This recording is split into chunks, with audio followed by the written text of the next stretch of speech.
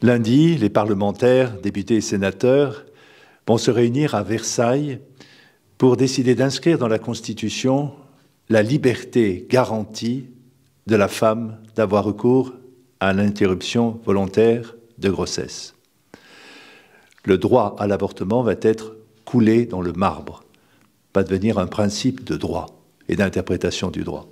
Face à cette décision très importante, J'entendais ce matin dans l'office des lectures résonner cette parole tirée du livre de l'Exode au chapitre 22.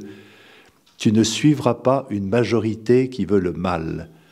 Ne tue pas la vie de l'innocent. Cette inscription met en cause la liberté de conscience du personnel soignant qui doit être fidèle au serment d'Hippocrate Tu ne tueras pas.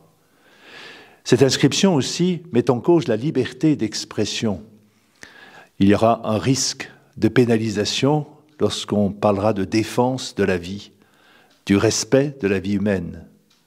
Mais aussi, fondamentalement, cette disposition nouvelle constitue une dérive éthique, une déshumanisation.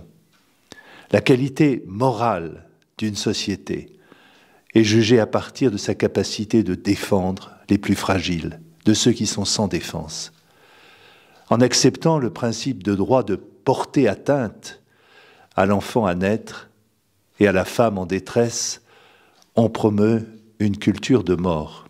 Pour reprendre l'expression du pape François, une culture de déchets.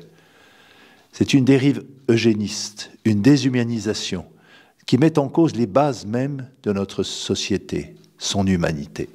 J'invite donc tous les parlementaires, dans un surcroît de conscience, face à une disposition qui touche et remet en cause le principe de l'interdiction de tuer. Je les invite à une prise de responsabilité morale, éthique, anthropologique.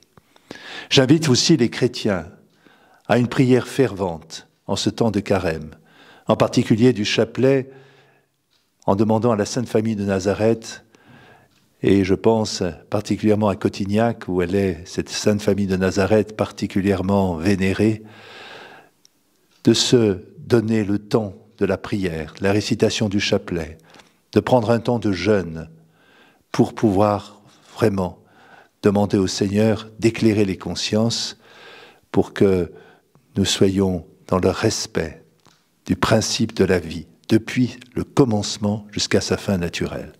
Il en va, je dirais, de l'avenir de notre société, de son humanité.